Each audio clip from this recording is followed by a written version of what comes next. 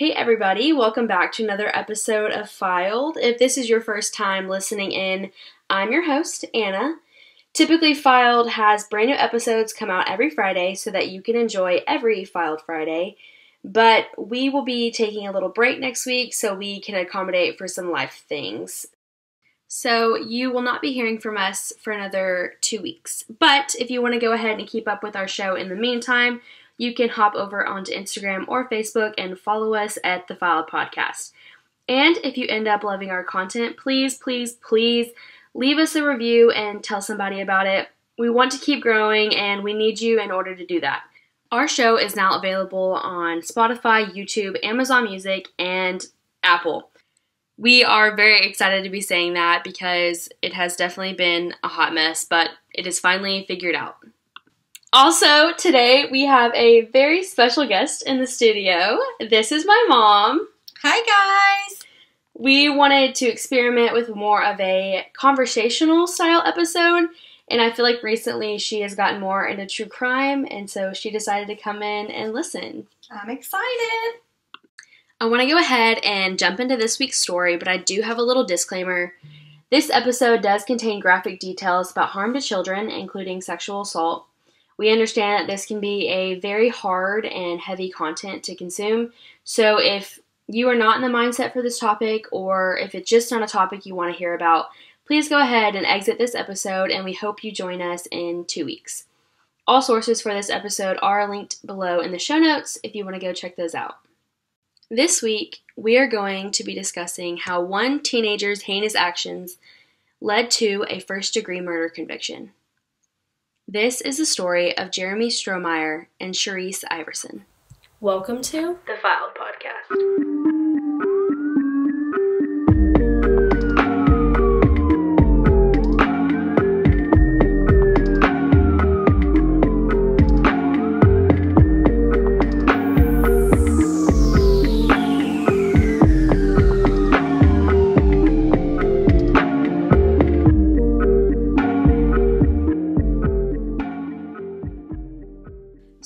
Our story starts in the mid 60s when Winnie was in her 20s. Um, she set off for California to work as a social worker for the Catholic Youth Organization. She was absolutely in love with California and felt thrilled about her decision to move there. Around the same time, in 1966, a young 20 year old John was retiring from the Air Force and was sick of the cold weather in New Jersey. Can you relate? Absolutely. he too decided to move to California and accept a job there at Continental Airlines. So he was a pilot in the Air Force and then was going to go work for Continental Airlines. Both John and Winnie would end up living across the street from one another, and soon they would be interested in each other. John finally found the courage to ask Winnie out on a date, and a week later he told her he loved her. Mm. so the couple stayed together and ended up getting married when they were both 26, and it was 1970. Six years later, Winnie gave birth to her daughter Heather, and shortly after, the couple began reaching out to a social worker to start the adoption process. Why? They kind of always had this dream of having one of their own and then adopting another. So as soon as they had Heather, they were like, let's go for the adoption. Okay. On October 11th, 1978, Jeremy Strohmeyer was born, and 18 months later, Winnie and John were more than excited to welcome their newly adopted son into their home. This adoption would finalize the Strohmeyers' perfect family of four. In 1996, his family decided to settle in Long Beach, California, after spending a year in Singapore for Winnie's work.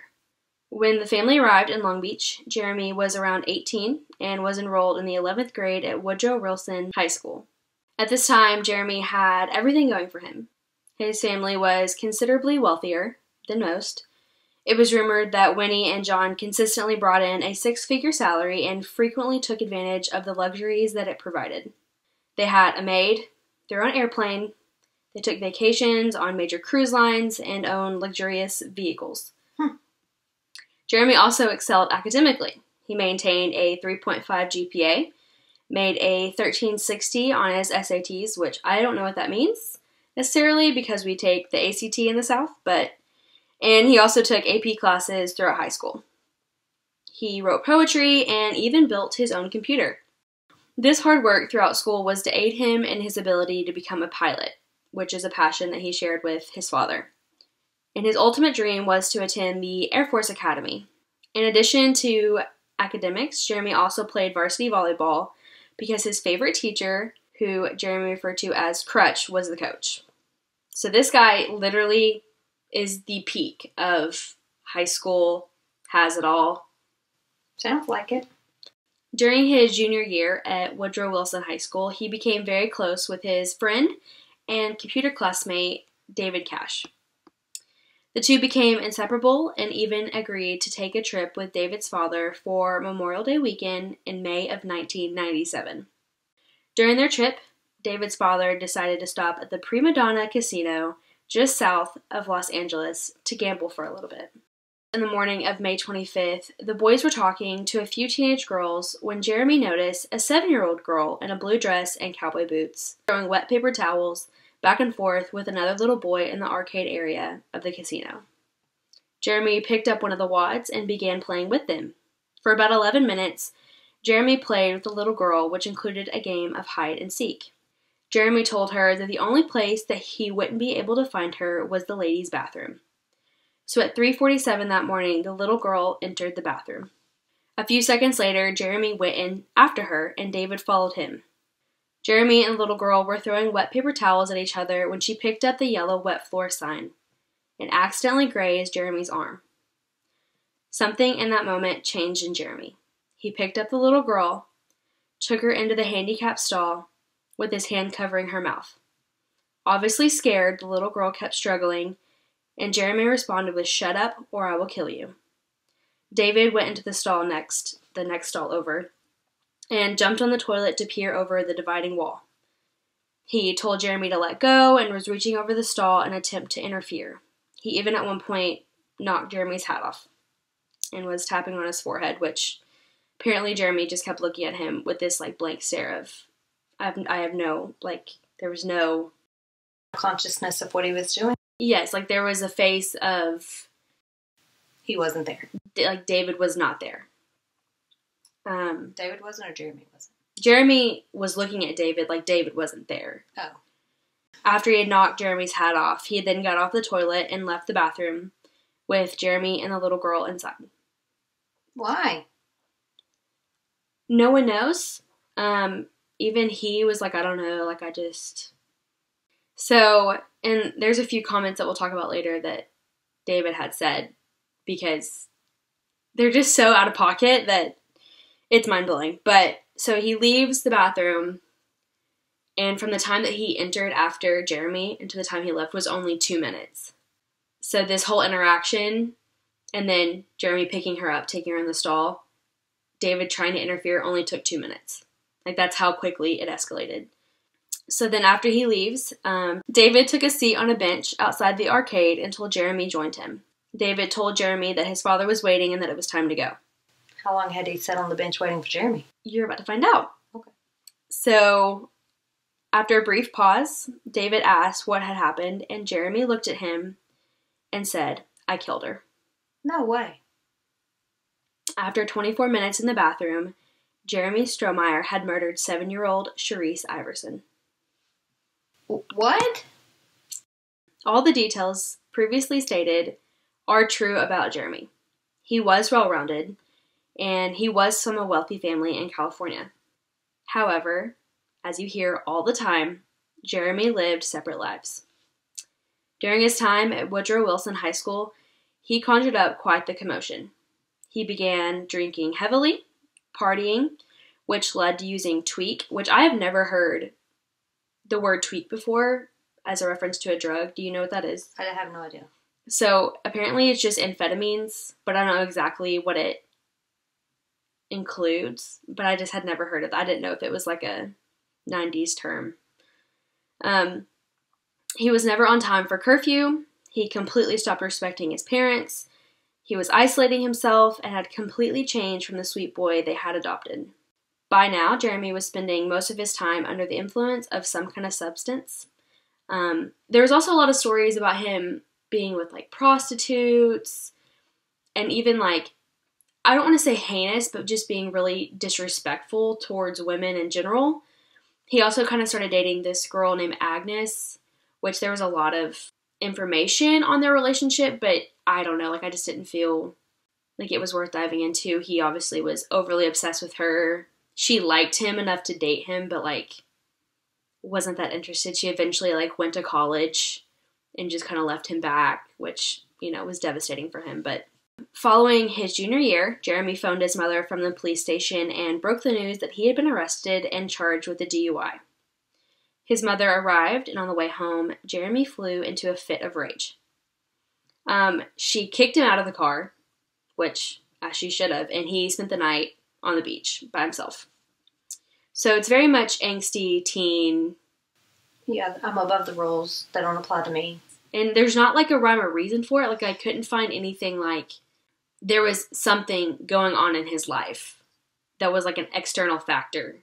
Other than like being diagnosed with ADD, a, or yeah, I think ADD, there wasn't like a a diagnosis for anything else or so like any internal things there wasn't I didn't see anything about abuse or anything going on like there wasn't a reason for what was going on.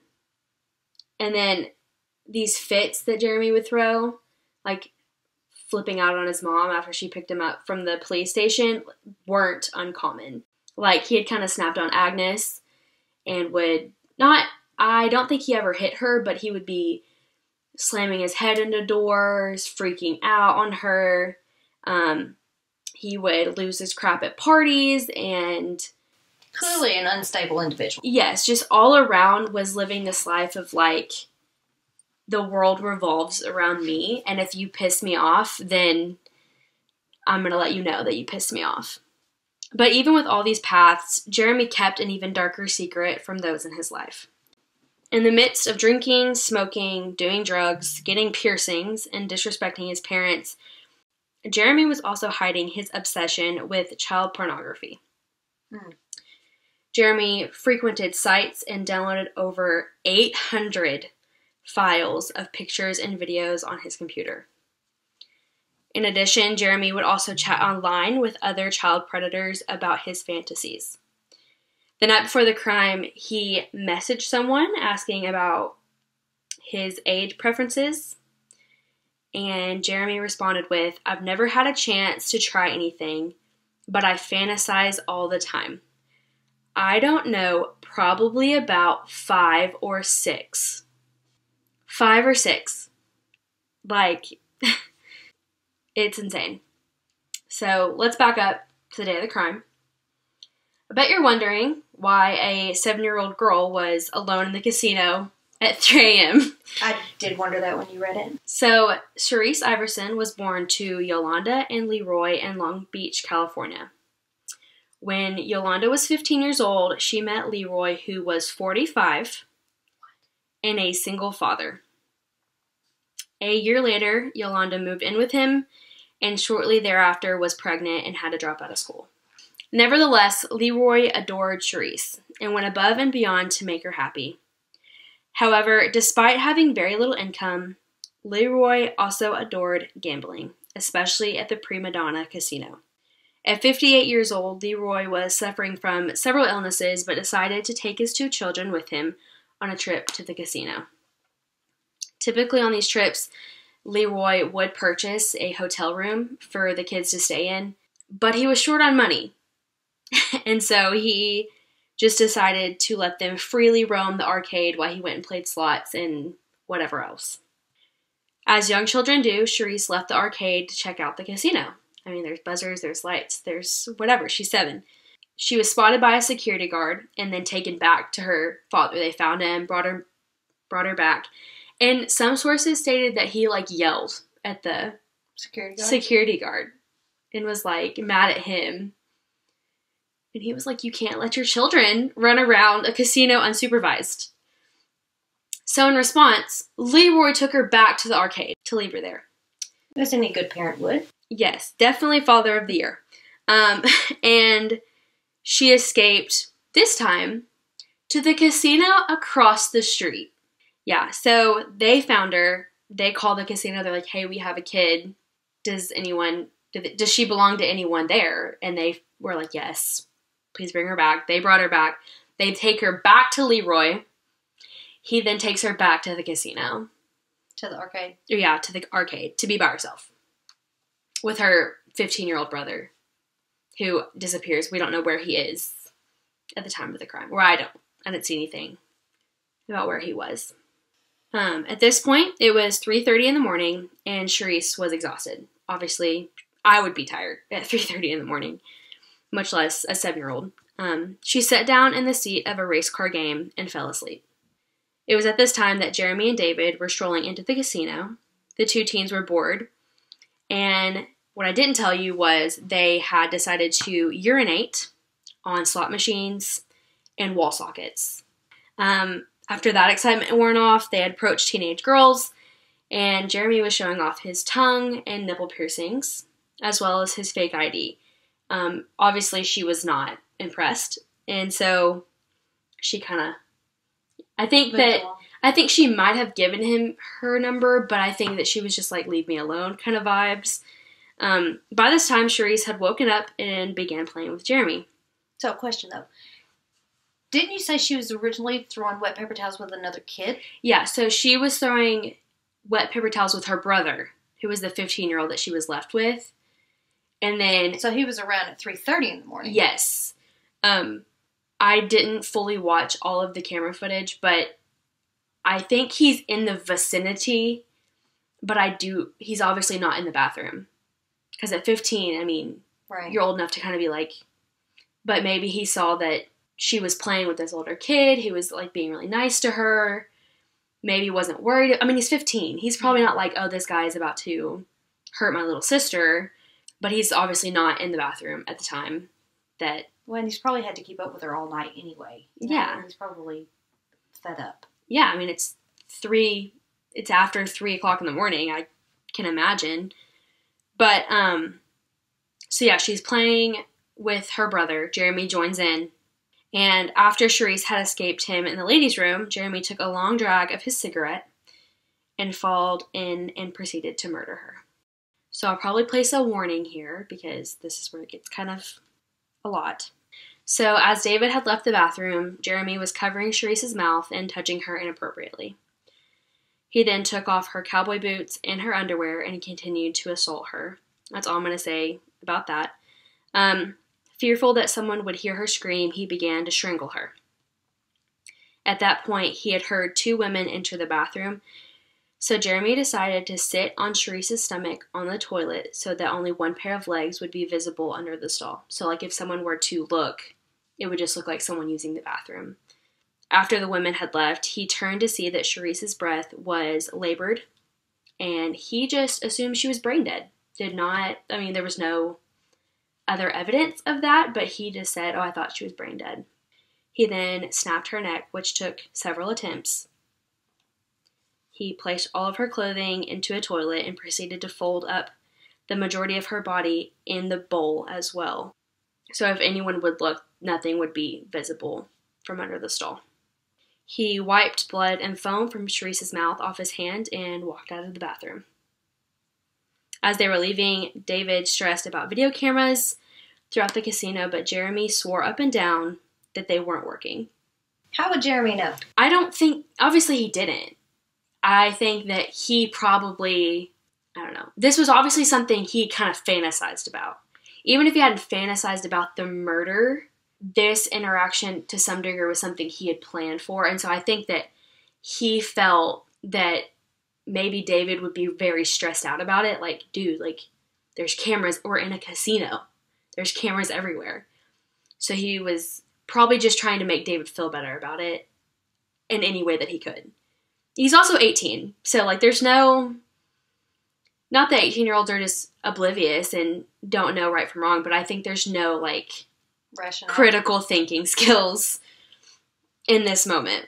Luckily for police, Video surveillance cameras would document the entire encounter leading up to the crime and following the crime.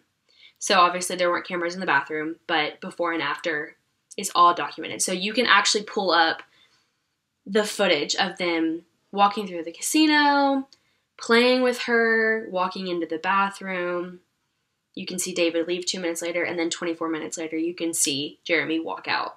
The camera is also filmed Jeremy showing off his tongue piercing and nipple piercing one last time to the valet before leaving the casino. He's so full of himself. Like, I feel like that just speaks so highly to like he has no care in the world about what he just did. No care. And I obviously cannot put my head space there because of it, I don't know, like I just could never imagine doing this in the first place. But I feel like I would be freaking out. I feel like I would be so panicked. Like, Let's get out of here. yeah, like let's leave. Like I'm, like I'm not making, I'm not letting anyone remember me. Like I'm, but I'm like the valet remembered it enough to say something Yeah. about it. Like, so the casino learned of what happened to Sherrice, and police began to start investigating. To start, they had local news outlets air the footage of Jeremy and David caught on those video cameras. A boy that went to their school was watching the news with his mother when it aired, and eventually that led to him and his mother turning them into the police. Just three days after returning from their Memorial Day weekend trip, Jeremy was arrested in his home in Long Beach, California. An undercover cop had been watching him. He had taken an entire bottle of his ADD medication and sprinted down the street. So, obviously, like, after it had aired, it was obviously stirring a big commotion. People were like, that's obviously Jeremy. It was rumored that David wasn't as much identifiable as Jeremy was. But they knew they had to be together. Yes. So, and like they kind of known about this trip, whatever. And it like really, people, I don't want to say, I don't know, they weren't like encouraging it, but it was a, almost a popularity thing. Like, holy crap, Jeremy's on the news. Hmm. And they're teenagers, so I think it's probably hard to realize the, Gravity? yeah, the gravity of the situation. Like, I don't know. Leslie Abramson represented Jeremy throughout the legal proceedings. She also represented the Menendez brothers. I don't know if you've ever heard of them. Maybe. They were a very high profile case that was also in California. The trial and lawsuits were insane for this case. There was so many lawsuits and appeals. Like it was a lot. But so to start, Jeremy tries to state that he was under the influence and couldn't remember what had happened. And then he tries to blame David for it. I, I wouldn't agree with that, but I. David's non actions don't sit real well with me. And that's like how a lot of people feel. Like David should have done something. Something. I mean, to sit on the bench for 24, 24 minutes, knowing that his friend is doing something, he knows he's doing something. He's got to. I mean, I don't know. I don't say he's to blame, but he sure didn't help. yeah, David's reaction to this whole ordeal was absolutely disgusting. And I know that he's only 17, 18 at the time, but he was quoted saying some wild things. So I'll read you some of his interview questions. So he was asked, Were you appalled that your friend said he had killed a little girl? Here was David's response I am not going to get upset over somebody else's life. Oh, I just worry about myself first. So that was what he had to say to that. Then he was asked, Did Jeremy make any mention in regard to her appearance or sexuality or anything about her? This is what he said to that. Well, nothing serious. I mean, we always joke around. I mean, like, you know, those little girls, you know, yum, yummy this and that. But it was always in a joking manner. I'm sorry, I have never once in my life joked about the sexuality of children. Never once have I ever even considered. There was also a source that stated that after, like when they were getting in the car to leave the casino, David asked her if she was sexually aroused during the interaction. David asked who? David asked Jeremy that. Yeah, David asked Jeremy if Sherrice was sexually aroused during the interaction. Are you kidding me? No. And when he was asked why he asked that, he was just like, I don't know, that's just how I think.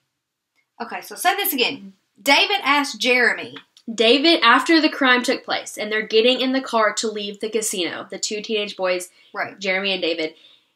David looks at Jeremy and asks him, "Was she, meaning Sherrice, or Sherrice, was she sexually aroused?" So he's essentially admitting that he knows he did something to that little girl. Essentially, But how disgusting. and not even that. Like, who asks that? Who sits there and is like, you know, like even who thinks that way? If that's his excuse, This poor baby girl.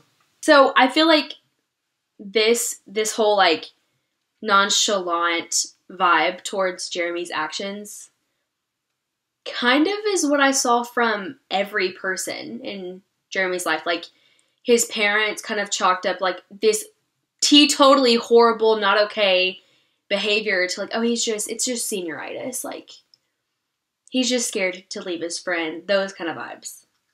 And then his So everybody made an excuse for him. Yes, and his friends would be like, "Oh, he he's just being like we're just being teenagers, you know." Yeah, who cares that he threw an egg at a sex worker? What teenager is even with sex workers? Like that is where his behavior was and every single source was like, "Oh, like he was just going through a, through a lot at the time." Hmm. And I'm not saying that their lack of initi- initiative is what caused this, but it didn't help. It sure didn't. It didn't help. Oh, so one of their one of Jeremy and David's friends at school. I don't know if the exact story of David had kind of confided in this other friend about the incident once like the news news footage was aired, but David was trying to push this friend to go to the police before someone actually did go to the police. He was like, "Hey, you need to go do this." And he didn't. So he didn't go to the police. And when this guy was asked why he didn't listen to David and go to the police, he spent a while just basically being like, Well, I talked to so many other guys and they would not turn their best friends in for murdering somebody. It's just a guy thing. Like, we need to, yeah, we need to like respect each other. And like, I just, I just wouldn't want to turn, I don't want to like narc on my friend, was like the whole vibe of this guy. So it's not just David being casual. It's not just Jeremy being casual. It's not just their third friend being casual. Like so many people involved in this case were so laid back about the whole ordeal. Like it wasn't somebody's life that was taken. Jeremy ended up taking a plea bargain and pled guilty to first degree murder, first degree kidnapping, sexual assault on a minor with substantial bodily harm, and sexual assault on a minor. So, question: Yes. Was her dad in any way held responsible for any of this? Were there any charges Um, filed against him? No, which it's actually kind of crazy because I saw one source say that when he even found out about it, he asked for a hotel room. A hun- Oh, so it's the hotel's responsibility now to, to comp him a room since his daughter's been killed yeah, so by his negligence. he it wasn't necessarily I don't I don't think he was a okay action 112% like he was so in the wrong and put his addiction way above his daughter but and I don't think you're saying this but it also does not make Jeremy's actions any less okay Right. um, but yeah, he was totally like flippant about it. I don't. I mean, obviously he was upset. Like I'm not gonna sit here. I don't know his mindset, but a security guard or someone at working at the casino basically said that he asked for a hotel room, a hundred dollars, and a pa- and a case of beer. And any good parent should. Right. I and we didn't really hear I couldn't find anything else about his reaction or anything like that. I mean, I'm not going to sit here and say that he wasn't upset or that Right. Because we don't. we don't, we have no idea. And like so many sources that he really loved Sherrice and like he was the first person in line to pick her up every single like he was there 30 minutes early to pick her up from school every day and did everything like he doted over her. So I don't want to sit here and say that he didn't care or that, you know, but I'm also not going to say his actions were okay either. Jeremy was sentenced to four life terms to be served consecutively without parole. First, he was put in a maximum security prison and then moved to a medium security prison. I'm not sure exactly why he was moved, but he went from being heavily policed to not so much. Of course, he appealed his sentence and was basically saying that he was forced to confess or that the confession was forced out of him, kind of thing. Um, but he was unsuccessful. Jeremy is now 45 and is still incarcerated in Nevada, I believe. During Sherrice's funeral, um, which was held on May 31st, 1997, at the Paradise Baptist Church, her parents, so Yolanda and Leroy, set apart and they never mended their relationship. This obviously drove them apart even farther. I would imagine. Um, and they did not, they haven't, apparently, we obviously don't know, but they have not spoken since their daughter's death. This was a quote from one of her, one of the sources talking about Sherrice stated, Sherrice's teachers thought of her as affectionate and trusting. Her hair was neatly braided. Her clothes looked freshly ironed. She struggled with reading, was scared of the dark, and adored the Little Mermaid. She loved the color purple, she wanted to be a nurse or a policewoman or a model or a dancer. That's terrible. I think reading stuff like that is harder because whenever you're just researching it, you kind of lose like the humanity side of it that like this was somebody's daughter, this was a living person. And so stuff like that always makes me so sad for the family and for her. Like she her life was completely cut short. And it seemed like there was no rhyme or reason other than his like sick twisted fantasies. So violently and Quickly. Like she was not peaceful. It's just I hated putting my kids to bed mad at them. I can't imagine them leaving life in that state of mind. So, as I mentioned earlier, there were several lawsuits in conjunction with this case. One of the lawsuits was in October of 1999, and Winnie and John basically attempted to sue the social worker that allowed, that like initiated the adoption of Jeremy to their family in a $1 million lawsuit. Um, it was specifically against the Los Angeles County and its adoption workers. They basically had claimed that the state or the county had left out information about Jeremy's past. He was a newborn. What kind of past did he have?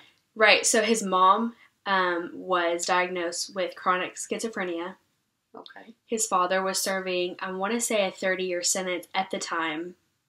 And I don't think it was for a violent crime, but he was in prison. And then he had siblings and half siblings with similar issues. Okay. And I'm not saying that because his parents and family were that way that he was destined to be to turn out to be this violent criminal. But I do feel like that information is important to even disclose to someone. Yes. So um, I'm not exactly sure the outcome of that case. So that is the tragic story of Sherrice Iverson. I will make you feel a little bit better about Nevada and their decision going forward after this case. They passed a law that made it a crime that if you know of a minor that is under the age of 16 that is being sexually abused or assaulted, you have to then report it. So they created a bystander law, and this has been kind of controversial because, well, even the only reason I landed on this case was because we were talking about bystander laws in my criminal law class and how it's kind of hard to limit the scope of that, which I feel like Nevada did a good job because who's to say, like, if you're driving down the street and you see someone get in a car accident, you know, if it's on a highway, how many people pass by?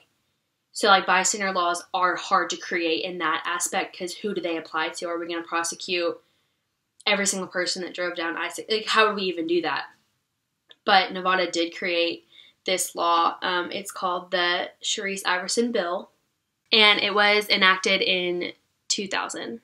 There's also been a heavy increase of security at the Nevada casinos, especially in like the arcade and like areas that children frequent.